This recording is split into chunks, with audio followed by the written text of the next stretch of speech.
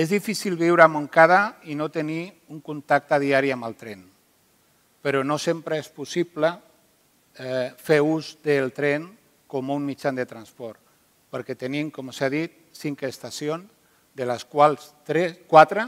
encara no estan adaptades i n'hi ha gent que té molta dificultat per arribar i poder utilitzar com mitjà de transport. També el tren suposa per a Montcada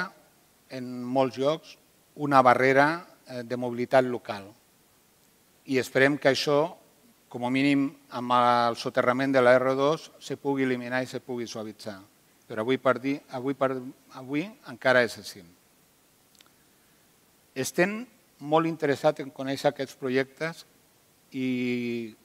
sobretot, quins beneficis suposaran per a Montcada el desenvolupament de tot aquest projecte, ja que fins ara la història no ens ha tractat massa bé, crec jo. Tenim exemples, i abans s'ha comentat, que tenim una AC, una autopista, que creua tot el municipi sencer i en canvi nosaltres no tenim accés a aquesta autopista. I més recentment i més relacionat amb, el que és la jornada d'avui, hem suportat les obres d'una línia d'alta velocitat condicionada sempre a que es faria el soterrament a Montcada i la línia porta funcionant des del 2013 i el soterrament a Montcada encara no ha començat.